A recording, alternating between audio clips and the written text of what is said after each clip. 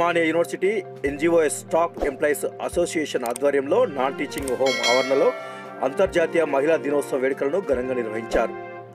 Women's committee chairperson P Anitha అధ్యక్షతన జరిగిన ఈ సమావేశానికి ముఖ్య అతిథిగా ప్రముఖ సంఘ సేవకురాలు రెండు వేల పద్నాలుగు మహిళా అవార్డు గ్రహీత డాక్టర్ వి రుక్మిణిరావు ప్రత్యేక అతిథిగా విసి ప్రొఫెసర్ రామచందర్ గౌరవ అతిథిగా అంతరంగిక ఫిర్యాదుల committee chairperson professor CH Venkataramanadevi OU finance officer V Annapurna హాజరై జ్యోతి ప్రజ్వలన చేసి ప్రారంభించారు.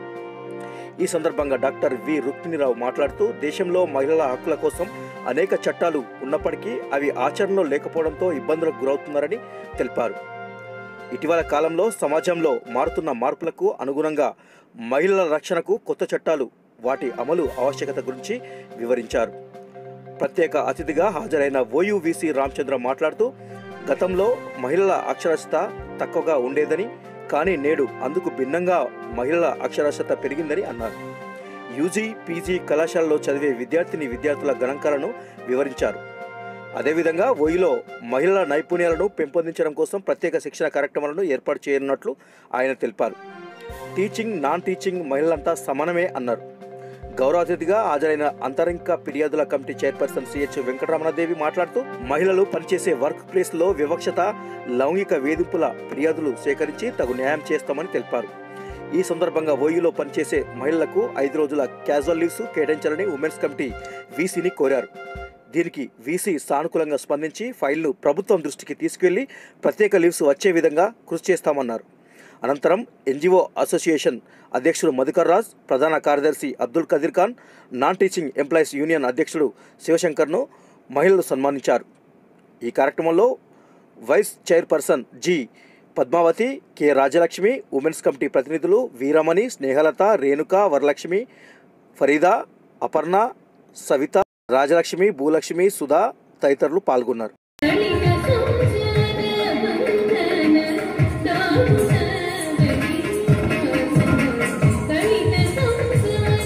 understand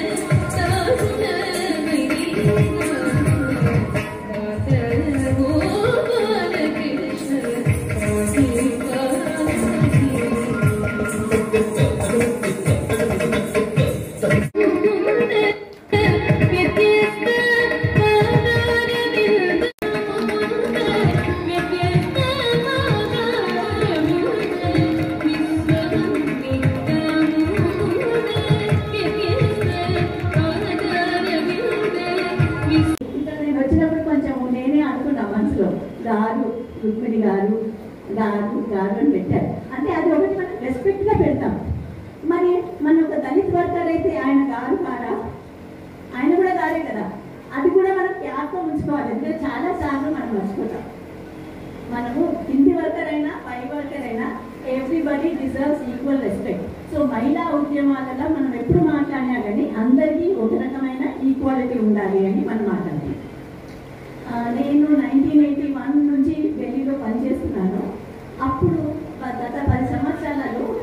ఎన్నో చట్టాలు వచ్చినాయి మనకు. ఒకటి మీకు అందరికీ తెలుసా డౌరీ ఇవ్వద్దు అని కట్నం ఇస్తే తప్పు అని అందరికీ తెలుసా ఈ రూమ్లో? ఎంతమంది ఉన్నారు ఇక్కడ కట్నాలు లేకుండా పెళ్ళి చేసుకున్నారు చెప్పండి చేయలేపండి. కట్నం ఇవ్వకుండా లేకుండా చేయలేపండి ఎంతమంది ఉన్నారు ఇక్కడ చూద్దాం మనము? పది మంది కనబడుతున్నారు. నాలుగు మంది ఓకే పన్నెండు మంది ఉన్నారు. రక్త మీన్స్ అంటే నాలుగైదు వందల మందిలా పది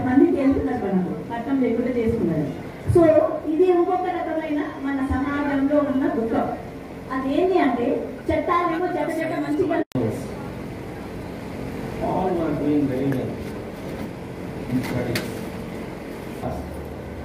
Not even a single girl was there in my class.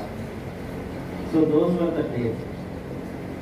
But then later we see a lot of changes. Of course, I came to do my engineering in the same university. Out of 50, 80 were, 8 were girls. That is only because it was ECE, that is Electronics and Communication Engineering. There was no girl in Civil Engineering Department. There was only one girl in Mechanical Engineering Department. In fact, that was, I still remember because uh, there's a lot of attention towards her because how dare she can do mechanical engineering. so those were the days actually. very few people used to opt for civil engineering and the mechanical engineering.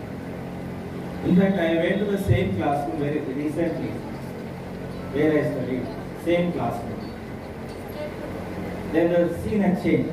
Out of 50, 35 are girls, 15 are boys. So there's a lot of change. And uh, of course, I- we also took the statistics in engineering college. 49.1% of our students are girls. I think this is uh, two years back, it might have changed. I don't know, it must have exceeded the 50% also. No, this is a, not only that, because I also should tell you that uh, at present in Usman University, 52% of our students are girls and UG level. That means 48% of students are boys. When it comes to the PG level, 60% of our students are girls, only 40% are boys. These are the facts. Yeah, I, I don't feel that the, the enrollment at primary level is same. Enrollment at primary level actually is different. So there